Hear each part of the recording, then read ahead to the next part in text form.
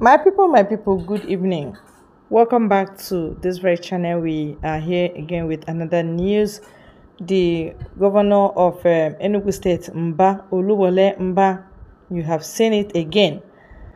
Today sunday police army especially nigerian army used their koboko started destroying people's businesses started crushing and flogging people they say goods worth millions of naira were crushed down today without any provocation in their own land, in their own ancestral land. These are strangers.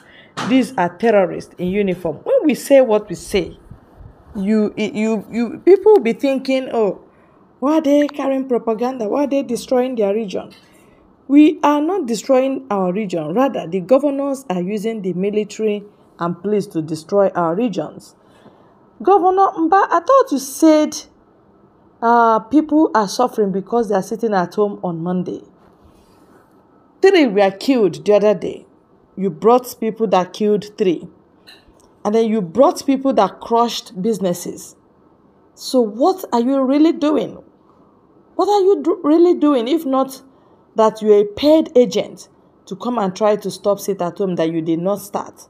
Without the release of Nnamdi Kanu, you want to by force Igbo youth to stop sit at home. What do you think we would do so that Nnamdi Kanu will be released?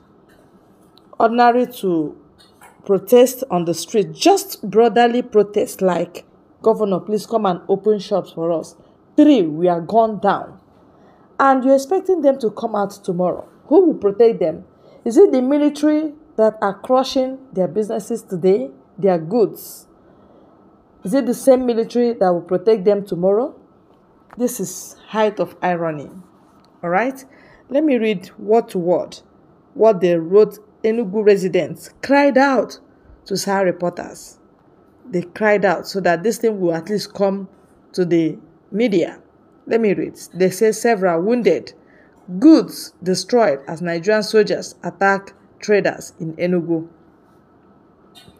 Several people trading at Holy Ghost and Old Park in Enugu North, local government area of Enugu State, were brutalized by Nigerian soldiers on Sunday. Some of the affected traders who spoke to Sahara reporters on Sunday declared the level of destruction of their goods. They said they did not commit any offense. As I speak with you, I don't know what offense we traders committed. We have been trading on Sundays at Holy Ghost and the Old Park, and we have not had any problems with the state or security agencies. Police always come in evening time to collect 1005 from keke drivers, that's commercial tricycle riders and bus drivers. We have not had any issues with them. I was surprised when the soldiers came around 10 34 a.m. today and started attacking us with horsewhip and um, destroying our businesses.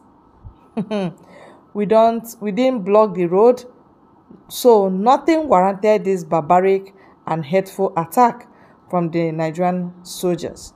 A trader who gave his name as Ogochukwu Odo narrated, a driver whose windscreen was smashed call on the state governor, Peter Mbah, to stop these vicious attacks list out list on um, peaceful residents of the state using the military and police. He said, it is regrettable that while other state governors are busy undertaking projects that impact positively on lives of their people, Mbah is busy chasing shadows.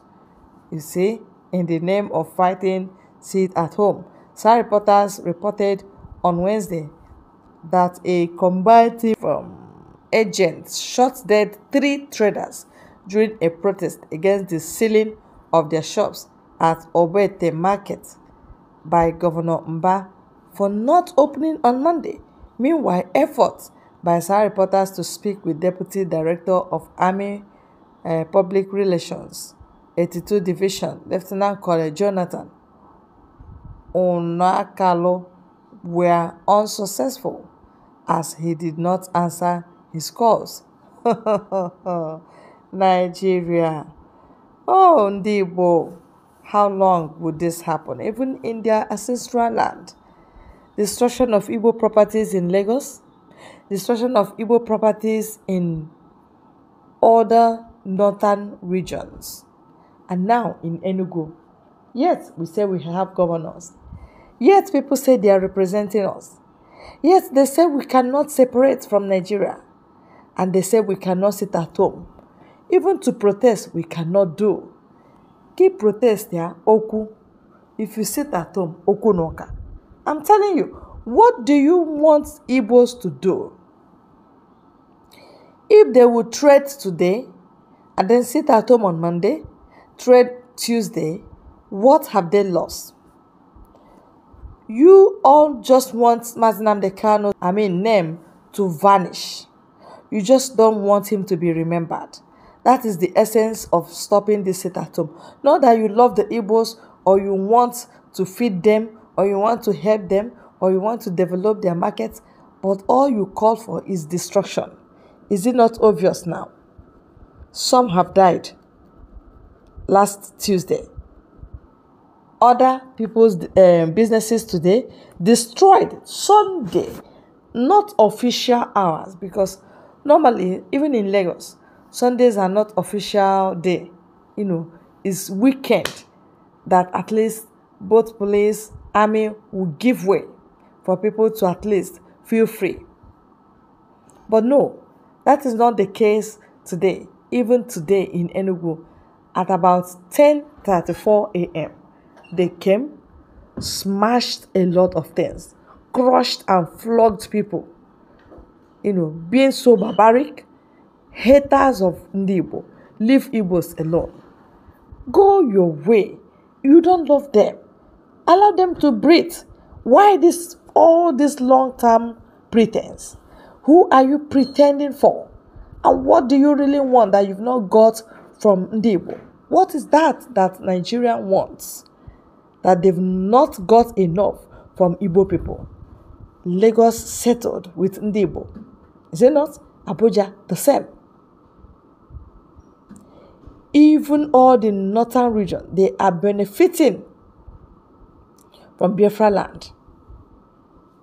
And you think that will continue forever? Even when our numbers, our population is growing, even when the youths are wiser, even when they are educated and more exposed, you think the same archaic way of barbaric acts will continue? Nigerian government is simply calling for war. And I know this war will swallow many of the people that call for war especially this government. Their hatred will make the world to swallow them. Whatever they have labored for, they will lose it. Hence, you don't want the poor to eat. You don't want them to sit down. You don't want them to stand up. You don't want them to protest. You don't want them to sit at home. Even to come out again on Sunday, they were crushed down. The people that sent these dark agents, dark agents, agents of darkness. The people that sent them to Enugu will not say a word. They will never checkmate their activities, their barbaric acts against our people. And they want us to be, uh, uh, you know, applauding them. See, we know who is protecting us. The only people we know that are protecting us are the people that are fighting this military. Because if you don't fight this military, they have gone there for total annihilation. They want to wipe out the youths. They want to crush down our people. So the only people we know that are for our security are the people that will gun down this uh, military, wicked military men that don't know their duty, they don't know their boundary, they don't know anything about their uh, specifications or specific duties they should be performing. Militaries are meant to be at the borders, not in the street. Not in the street. You are simply unleashing terror on our people. That is what we want to tell Nigerian military. Copy to Mbah. Have you seen it? See your love for your people. It's showing. If they show, it they happen.